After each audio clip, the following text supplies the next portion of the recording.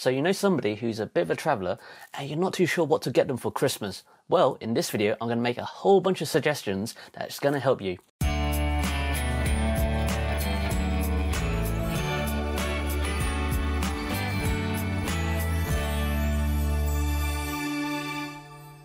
Hello YouTube. Just in case you're new around here, my name's Joe, this up world, and I aim to inspire, inform and amuse through travel. And in this video, I've got a great list of Christmas gift ideas for those who travel a lot. And just in case you haven't seen part one of this video, you should go back and check that out a little bit later. And whilst you're here, you might as well hit the subscribe button and the little bell notification so you don't miss out on any future videos. So the way I'm going to structure this video, I'm going to have five themes, so I'm going to recommend at least two gift ideas for every theme. What's more, quite a few of these gift suggestions I've probably tried out myself, and also there's going to be a bunch of timestamps in the description to help you move between the different themes, just to save you scrolling back and forth. Um, what you might need to do is to copy and paste the actual link into a new browser so you can go straight to that thing. Clicking on the link sometimes doesn't work for whatever reason on YouTube. And also, since you can copy the link, you can actually send it to a particular person and give them a very, very subtle hint what you want for Christmas. So the product links are affiliate links. So what that means is that every time you click and buy something through the link, my channel gets a small commission. And so because it's Christmas, any commissions generated this Christmas, I'm going to give it to my chosen charity. I feel that I'm really, really grateful that I have this situation that I have a warm home, hot food, and for Christmas I'm going to be going home to see my friends and family.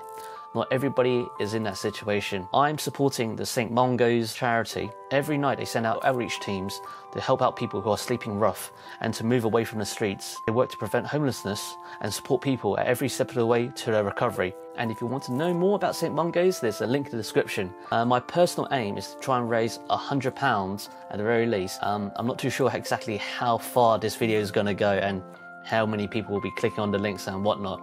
But I'm just happy, happy to able to help in my small, small way to a really good cause. So if you are able to help by buying some of the gifts to help St. Mungo's, great. And even better, if you contribute directly, I'm sure St. Mungo's and the people that are going to be helping this Christmas will be really, really appreciative.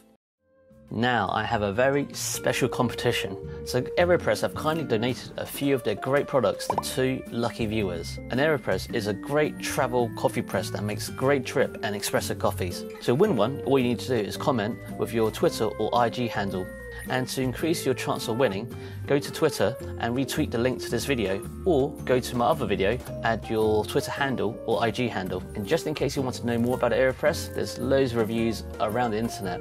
But on my first video where I suggest some other Christmas gifts, you should also take a quick peek.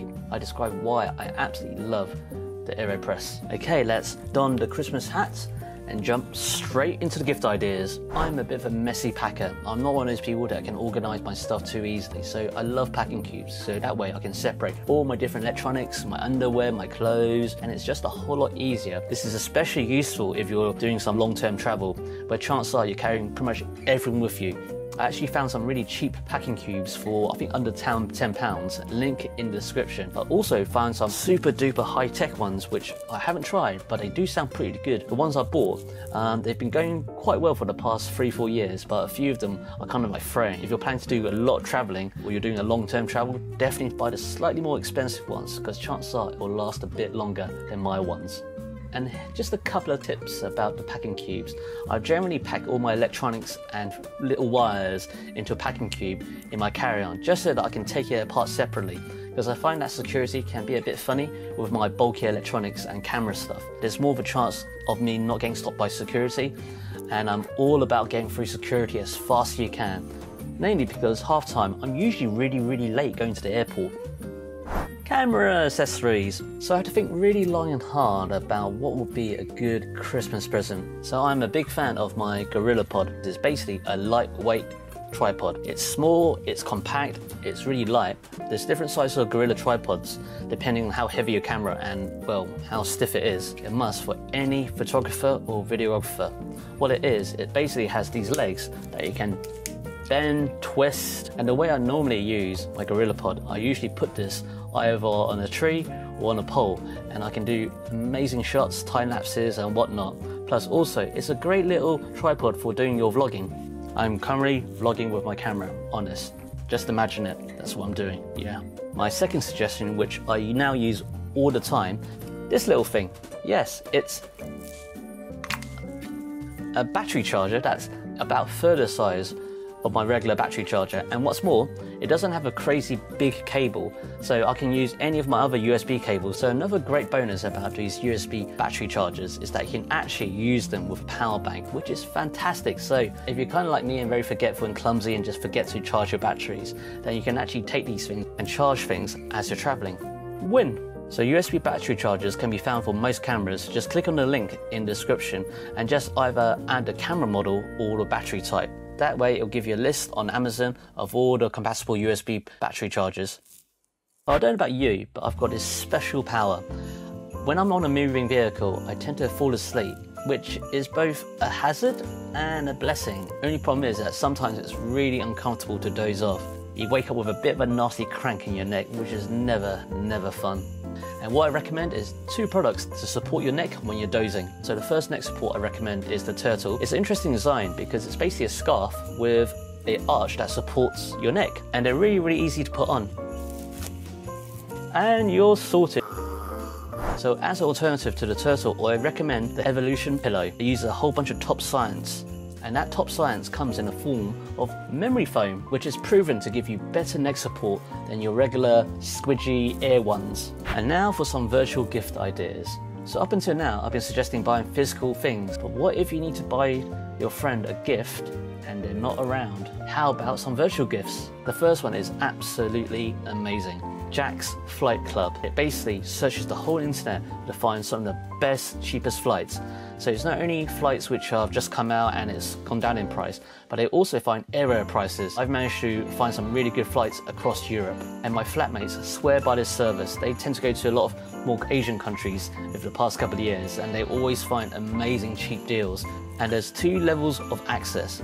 Premium access, which gives you a whole load of stuff as you can see on screen what I recommend you do is buy the annual access because, well, chances are you're going to make your money back just from one flight. £35 really isn't a lot of money given the fact that if you're thinking of doing a long haul flight any time in the next year, chances are you're going to be saving, saving at least 100, 150 quid. My next recommendation is Readly. Basically, what you do, you pay one subscription and it gives you access to a whole load of magazines.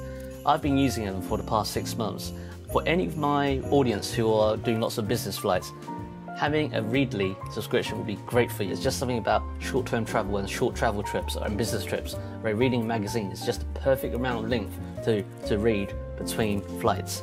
So for me, I've downloaded quite a few magazines on my uh, membership. I've downloaded so far Wanderlust, Lonely Planet, Wired, Grand Designs, 21 Cryptos, Healthy Food magazines, and basically lots and lots of random magazines. I won't give you the complete list of all the magazines. Just click on the link and have a quick look. There's magazines for all sorts of people, not just travel. And I also have a question for my audience. Do you subscribe to any travel services or any like virtual services? I'd love to hear your feedback and get some ideas from you guys as well. And last but not least, toiletry and bathroom bag related recommendations. I always bought separate razors or I just decided to get myself a beard and get and grow a moustache because I just couldn't be bothered to shave. Then I discovered electric shavers. Only problem is with electric shavers, sometimes they're quite big and bulky and then I discovered this small, tiny electric shaver, which I still use to this day, the Philips electric shaver. I must admit, it doesn't give you the closest of shaves, but in terms of a daily shave, it does the job perfectly.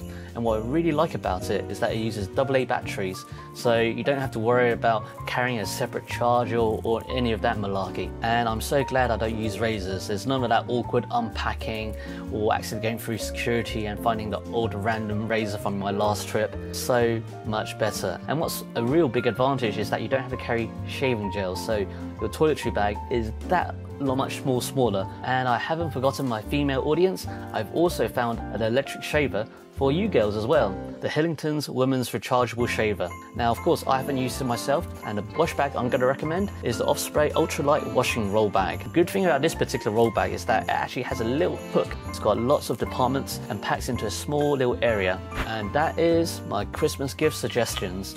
Let me know what's been your favourite, and don't forget, you should definitely check out part one of this. There, I've got five more themes, and I've suggested another like 10 ideas for Christmas gifts. If you're interested in winning one of the AeroPresses, definitely type in your Twitter and your Instagram handle in the discussion. And it'd be really, really useful if you click and buy the gifts through the links just so that I can support St. Mungo's this Christmas and help the homeless. And that is it. I hope this video has been really, really useful. Make sure you hit the subscribe button with a little bell notification just so that you see some of my future videos. And hopefully I'll release a couple of videos before Christmas. Maybe, maybe not. We'll see how it goes. But just in case I don't, you have a Merry Christmas and I'll catch you in the next video. You kind of look like a ninja as well. And I must admit, it does kind of look like a weird sex toy.